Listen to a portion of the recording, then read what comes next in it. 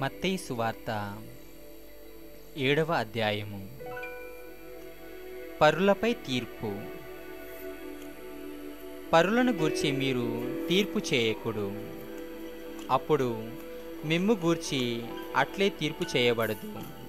ఎందుకనగా మీరు పరులను గూర్చి తీర్పు చేసినట్లే మీకును తీర్పు చెప్పబడును. మీరు ఏ కొలతతో కొలిచెదరో ఆ కొలతతోనే మీకును కొలవబడును. నీ కంటిలోని దూలమును గమనింపక నీ సోదరిని కంటిలోని నలుసును వేలెత్తి చూపిదవేళ నీ కంటిలోకి నలుసును తీసివేయనిమ్ము అని సోదరుని నీవెట్లు అడగగలవు. నీ కంటిలో దూలమున్నది కదా కపట భక్తుడా ముందుగా నీ కంటిలోని దూలమును తీసివేసుకొనము. అప్పుడు నీ సోదరుని కంటిలోని నలుసును తీసివేయుటకు నీ చూపును స్పష్టముగా నుండును. పవిత్ర వస్తువులను కుక్కల పాలు చేయవలదు. వెలగల ముత్యములను పందులకు పారవేయవలదు. అవి కాళ్ళతో త్రొక్కి నీ పైబడి నిన్ను చీల్చివేయను. మూలధర్మము. అడుగుడు మీ కొసకబడును వెతకుడు మీకు దొరుకును. తట్టుడు మీకు తెరవబడును. ఏలైనా అడిగిన ప్రతివానికి లభించును. వెతికిన ప్రతివానికి దొరకును. తట్టిన ప్రతివానికి తెరవబడును. కుమారుడును రొట్టెనడిగిన మీలో ఎవడైనా రాయనిచ్చున? చేపనడిగిన పామునిచ్చున? మీరెంత చెడ్డవారైనను మీ బిడ్డలకు మేలి వస్తువులను ఇచ్చుటకు మీకు తెలియను. పరలోకమందులి మీ తండ్రి అడిగిన వారికి ఇంకెట్టి మేలి వస్తువులు ఇచ్చునో ఊహింపుడు. ఇతరులు మీకు ఏమి చేయవలనని మీరు కోరుదరో దానిని మీరు పరులకు చేయుడు. ఇదియే మోషే ధర్మ ధర్మశాస్త్రము ప్రవక్తల ప్రబోధము జీవద్వారము. ఇరుకైన ద్వారమును ప్రవేశింపుడు. ఏలైనా విశాలమును సులభమునైన మార్గము వినాశమునకు చేర్చును.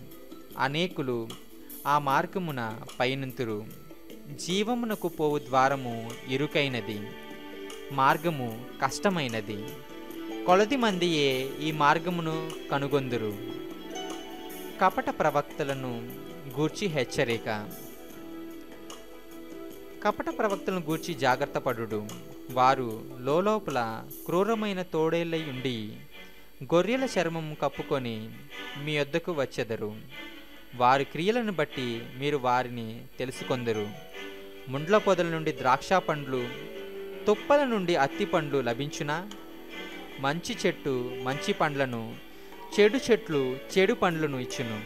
మంచి చెట్టు చెడు పండ్లను చెడు చెట్లు మంచి పండ్లను ఈయలేదు మంచి పండ్లు నీయని ప్రతి చెట్టును నరికి మంటలో పడవేయబడుదురు. కావున వారి ప్రవర్తన వలన మీరు వారిని తెలుసుకొనగలరు. తిరస్కారము.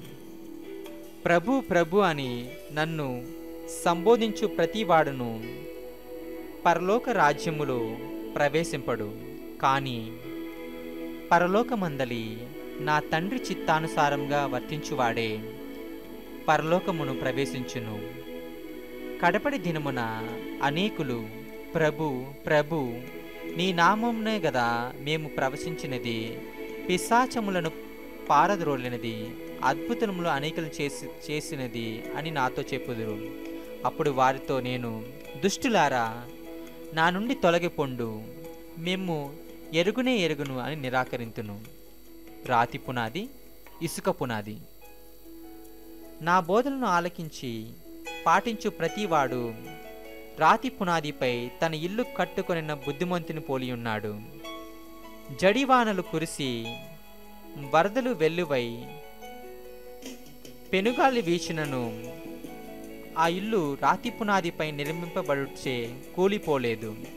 నా బోధనను ఆలకించి పాటింపని ప్రతివాడు ఇసుకపై తన ఇల్లు కట్టుకున్న బుద్ధిహీనుని పోలియున్నాడు జడివానలు కురిసి వరదలు వెల్లువై పారి పెనుగానులు వీచినప్పుడు ఆ ఇల్లు కూలి నేలమట్టమయ్యెను.